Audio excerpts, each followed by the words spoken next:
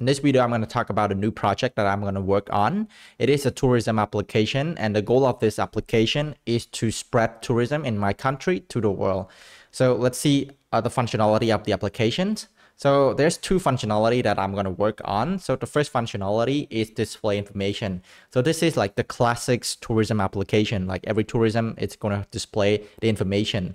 So I'm going to display uh, things like, for example, things to do, where to go, and food to eat. There's only two, three things that I'm going to focusing on. I don't want to display like, for example, place to stay. So this problem has been solved like, or maybe like taken care of by uh, for example, booking.com or Agoda. I don't want to go to that space.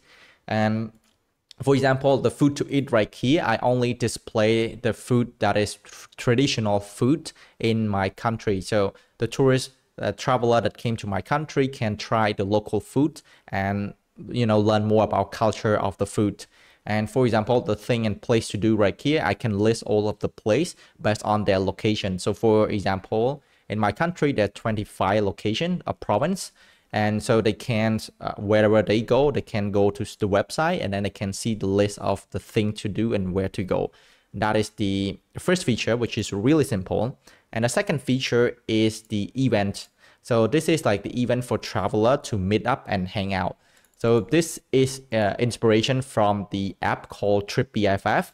So um, the traveler or the local can create an event so for example, the event, let's say explore um, explore this location for one day, and they in the event they can create like the agenda. So for example, in the morning we go to visit the museum, uh, and then we go to Royal Palace, and then we try local food, go to drink, go to club, and something like that. So this is like the event that can create by anyone that's uh, in uh, like visits uh, my country or uh, the local itself can create those events for traveler to join. So this is will create more activity for traveler to you know experience with the local, and then they're gonna at least uh, stay a little bit longer when they do like that.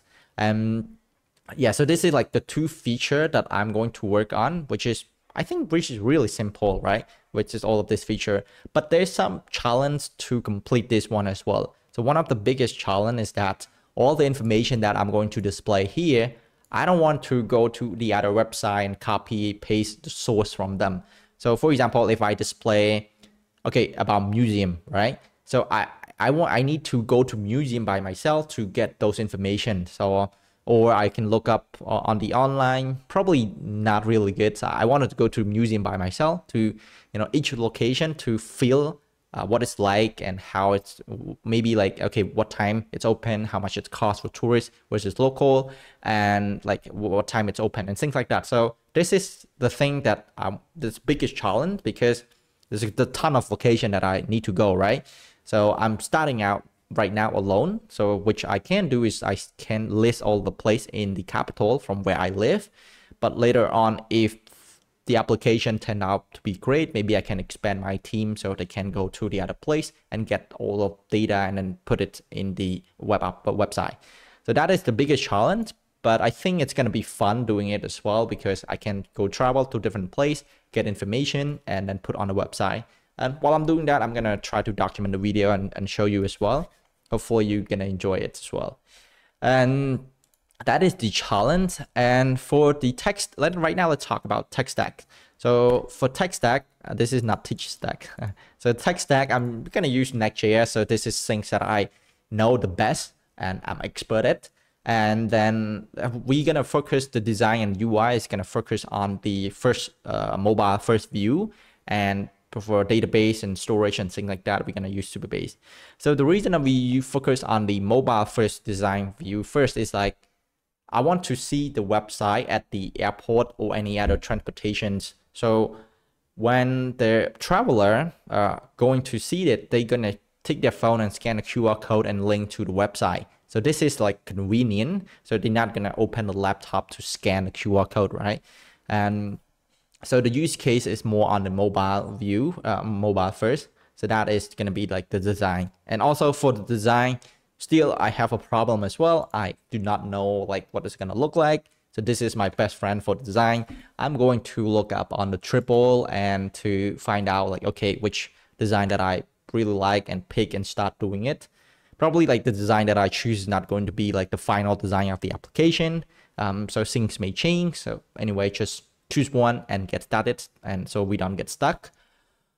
And maybe later, if like if it's need for mobile application, I'm going to build it as well. So which is the plan that I wanted to do as well. I wanted to, you know, learn React Native. Like I know React very well, so I don't think going to uh, React Native is not that complicated. So I think I'm gonna uh, try to do it as well. Anyway, so this is like all the application, like the idea and the application, the project that I'm going to work on. I don't see, I don't know how long it's gonna take, and yeah, we'll see. And I've tried to, I'll keep you guys update and try to document every process and everything. Like for example, if I complete, like go out and find out a place, get a location, I will try to document those as well. And hopefully you like uh, this video and all right so uh, don't forget to subscribe no and let me know in the comments in like what do you think about this one. And all right see you in the next video. Bye bye